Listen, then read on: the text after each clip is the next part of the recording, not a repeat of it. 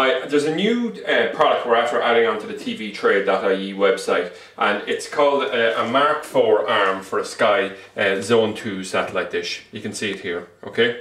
Now, um, the reason that we've decided to add this on uh, as a separate item, uh, it's part of an overall dish that you can see here in front of me, which is uh, like a Sky satellite dish, okay? Or Sky satellite dish here. You can see it just mounted on a pole and on the front of it here we have, we have the arm which mounts in here on the back, it's held on by a nut and bolt. You need a Phillips screwdriver here, okay, take it off. And then you have the arm that comes forward here, and onto this we clip on uh, an LNB, okay? Now, traditionally what we would have had, the current type of dishes that have been used by Sky are called Mark 4s, okay? Now, the previous dishes to this were called Mark IIIs, and the basic difference is the LNB traditionally used to be held on where we'd use a plastic insert such as this, we'd shove it into a Mark III arm, which I'm going to do now, and now what we do is we would shove in the LNB here like this.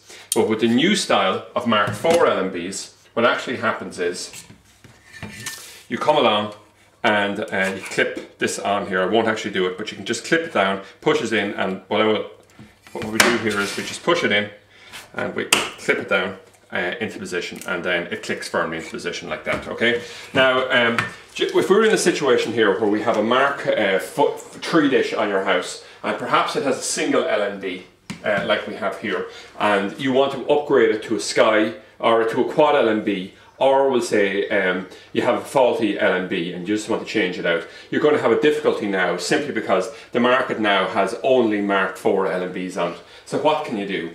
Well, you have a couple of different options. What most people do is they simply come along, they'll buy a Mark IV LNB like this, and they'll buy an adapter, which this here is called a Mark III or Mark IV to Mark III adapter, where we can change out the neck on this for this one here and it'll just simply shove directly into uh, the arm like this. Or alternatively, an easier option can be to actually simply go and buy this arm with a new LNB on it. So you simply go over to the dish, get your Phillips screwdriver such as this, come along, turn it around here, undo this screw, pull out the old arm and clip in your new arm with your quad LNB on it or your new single LNB and clip it in.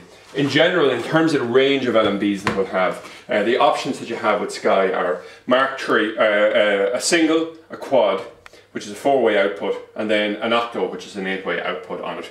So I think this uh, product here will have a, have a definite market, because often you have guys who are going out to upgrade dishes, uh, and what you'll find is that the arm might be quite rotten, but the rest of the dish is quite good.